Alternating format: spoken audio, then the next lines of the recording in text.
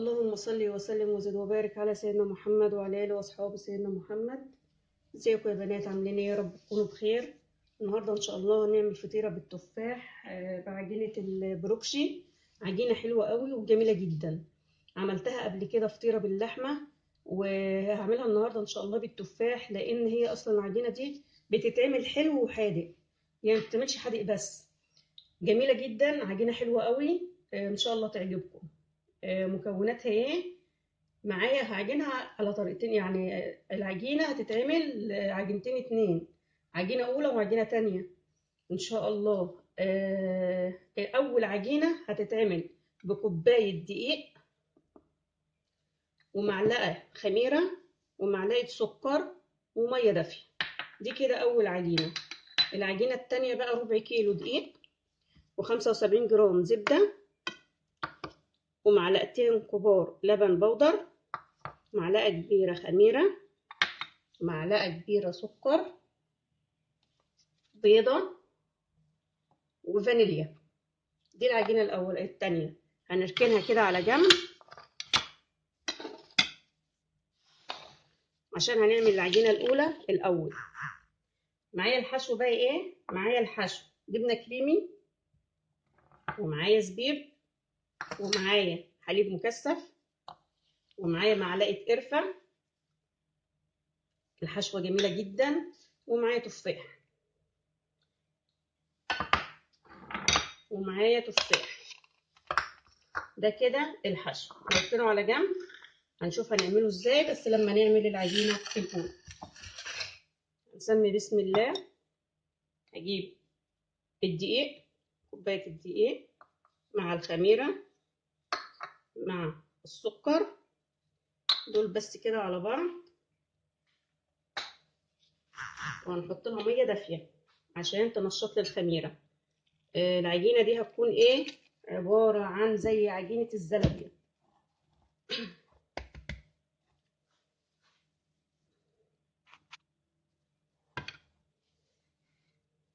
زي عجينة الزلابية. شوية مية كمان.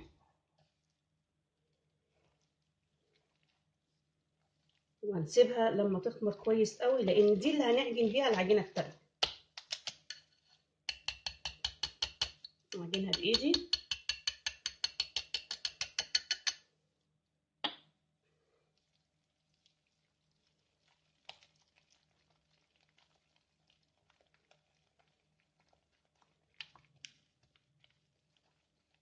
شوية مية كمان محتاجة شوية مية كمان.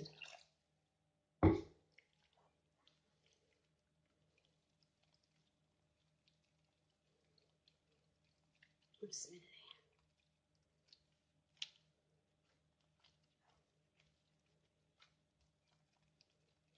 كده كويسة قوي. هسيبها بقى تخمر خالص وبعد كده نعجن بيها العجينة التانية. العجينة التانية لو احتاجت معانا مية هنحط ما احتاجتش خلاص لأن إحنا هنعجن بالعجينة الأولانية دي. اهي بصوا. يعني خفيفة. بس كده هسيبها لما تخمر خالص أركنها. لحد ما تخمر خالص وبعد كده نعجن العجينة التانية إن شاء الله.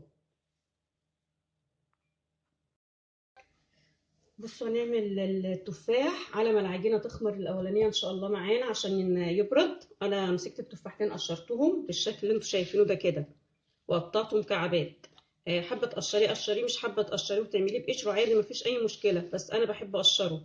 آه، مش حابة تقشريه؟ عادي. أنا جبت التفاح قطعته خلاص هو في طاسة.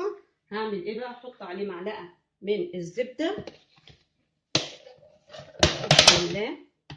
هاخد معلقة من الزبدة أهي هي معلقة بس واحدة. وأحط عليها القرفة.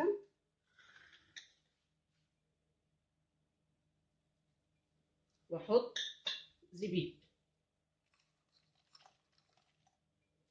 ودول كده هحطهم على النار. التفاح هينزل ميته لحد ما المية تتشرب. بس وأروح منزلاه من على النار واسيبه يبرد.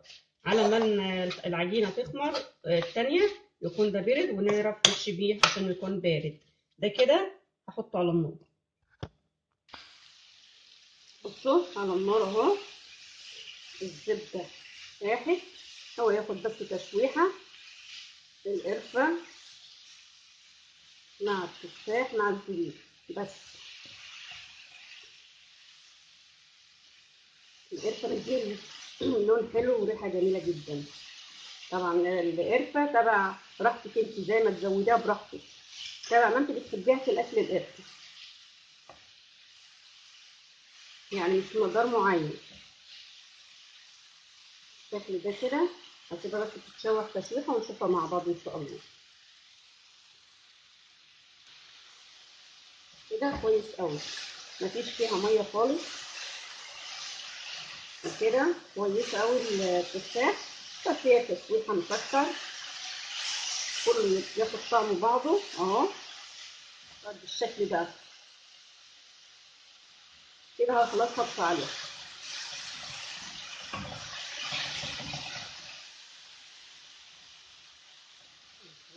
عليها اهو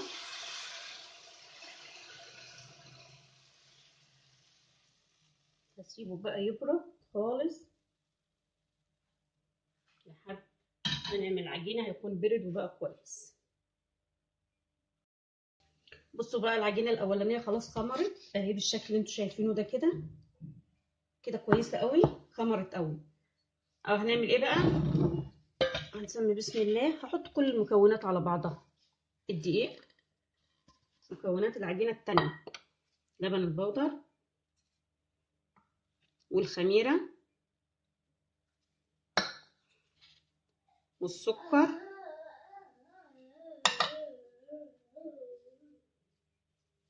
والزبدة. كل حاجة على بعض. حلاوتها في إنها كلها بتخلطها على بعضها عادي مفيش أي مشكلة. مع البيضة.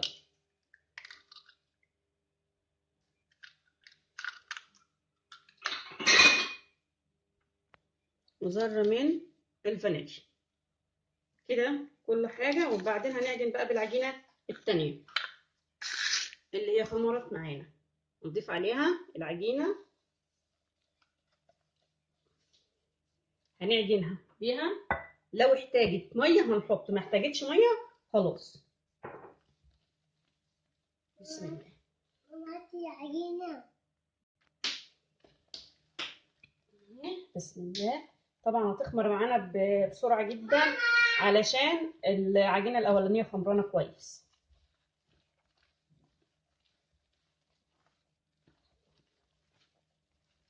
هي كده محتاجتش خلاص مية معانا مش هتحتاج مية. بالظبط. خلاص اهي. سيبيها بقى تخمر كويس قوي. وبعدين نفردها ونشكلها إن شاء الله مع بعض. اهي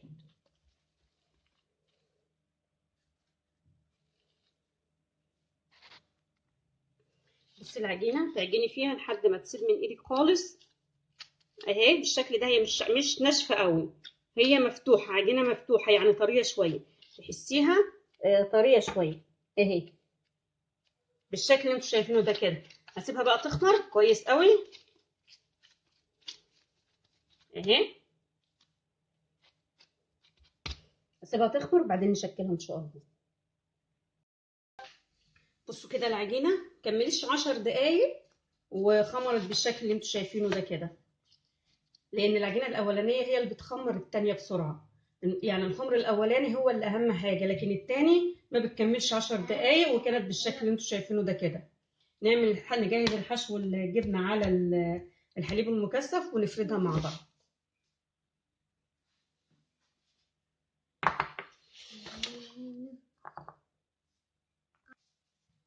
اللبن المكثف على الجبنة. يعني أدي ثلاث معالق آه، لبن حليب مكثف على ثلاث معالق من الجبنة. قلبيهم كلهم في بعض.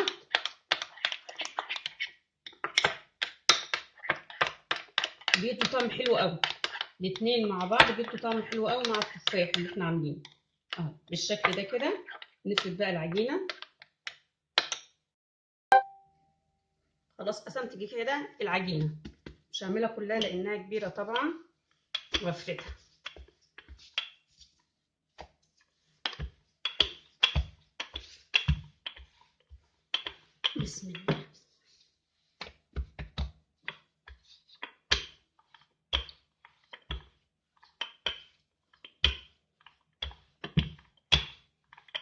تكونش تخينة قوي. تتحرك معايا. عجينة جميلة جدا.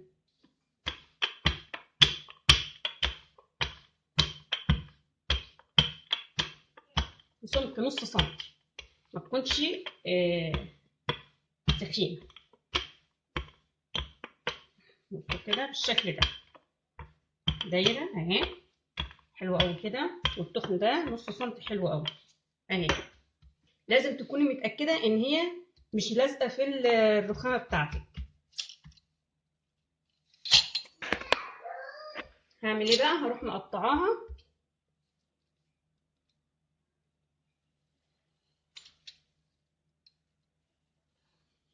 بالشكل ده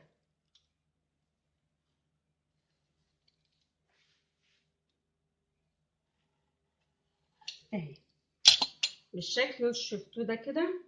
هعمل إيه بقى؟ هجيب أنا متأكدة إن هي مقطعه كويس معاكي. الخليط بقى بتاعنا اللي هو الجبنة. ماما! أحط الجبنة على الحليب المكثف مع شوية من التفاح. أهي. هعمل إزاي بقى؟ هقفلها دي إزاي؟ هعملها بالشكل ده كده جيب. أهو هقفلها من هنا. أهي. وأروح جاية واخداها لفاها كويس. بالشكل ده. هنعمل واحدة تاني عشان أنا حاسة إن هي بعيدة عليكم. نعمل واحدة قريبة. أهي. هاخد من الجبنة واحط من التفاح أهو. هعمل إيه؟ هجيب الطرفين دول وأقفلهم بالشكل ده كده وأقفل من هنا. أهي. بقت عاملة زي الجيب. بالشكل ده. أهي. بقت عاملة زي الجيب. لما قفلتها أهي. علشان مفيش حاجة تطلع منها. باخد بقى كده اهي وادخله على جوه اهي بالشكل ده. اهي. هنعمل واحدة كمان. كل ده بقى هتعمليه وتحطيه في صينية. تحطيه في الصينية على طول. هتسيبيها برضو ترتاح كده قد خمس دقايق وتدخليها على الفرن. اهي. الشكل ده. هنعمل واحدة كمان مع بعض. اهي. الشكل ده اهو. أحط الخليط بتاعي. الجبنة على الحليب المكثف مع التفاح اهو. واخد الطرفين مع بعض بالشكل ده كده واقفلهم. اهي. امسكها كده واقفلها. اقفلها كويس. عملت لي إيه؟ جيب. أهو. عملت لي جيب بالشكل اللي أنتوا شايفينه ده كده. أهي. طبعا تقفليها كويس وتروحي واخدة والداخلة على جوه ولفة كويس. أهي. بالشكل ده كده. هكمل كله بالطريقة دي كده ونشوفه مع بعض. هدهنه. صفار بيض إن شاء الله قبل ما يدخل الفرن. أنا خلصت الفردة بقى الأولانية نعمل نوع تاني شكل تاني. لقيتها؟ الشكل الأولاني خلاص. هنعمل بقى الشكل التاني.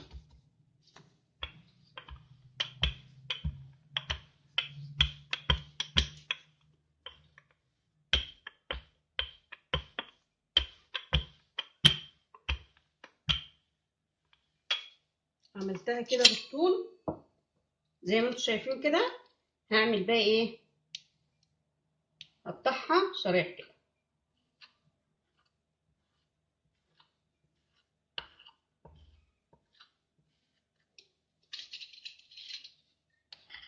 كلها.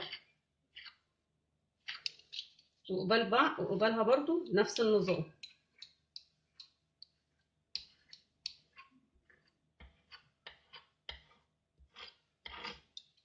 الشكل اللي أنتوا شايفينه ده كده. هعمل إيه بقى؟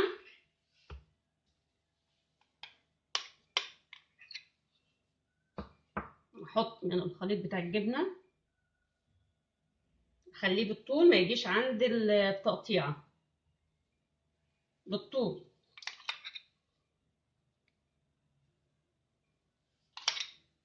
اهو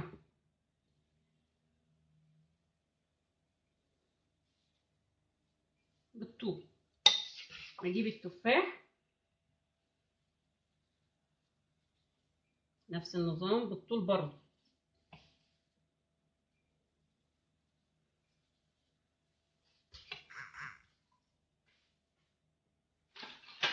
أهو بالشكل ده كده. الطريقة اللي تعجبكم طبعا تعملوها. أهي. إزاي بجيب بقى الطرف ده أهو. مع الطرف ده. بالشكل ده كده. أفضل أقفل فيها بالشكل ده.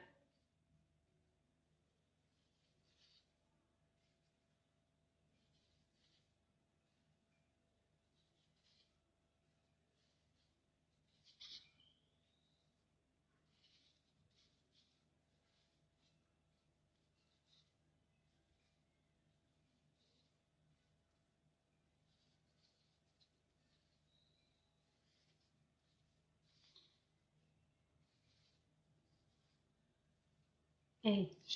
بالشكل اللي أنتوا شايفينه ده كده اهي. بقفل كويس من عند الطرف الاولاني. وبرضو من هنا الطرف ده من هنا برضو واقفل كويس. بقت بالشكل اللي أنتوا شايفينه ده كده. شكل جميل جدا. قرب لكم عليها الكاميرا. اهي. بقت بالشكل ده. اهي. الفطيرة بالشكل التاني أهو. ده كده الشكل التاني.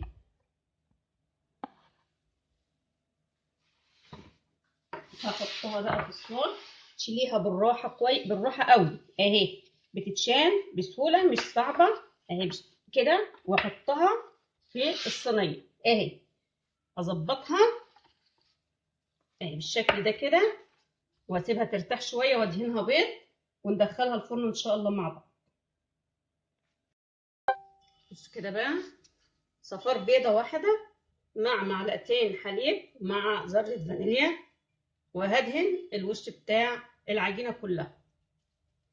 بالراحة.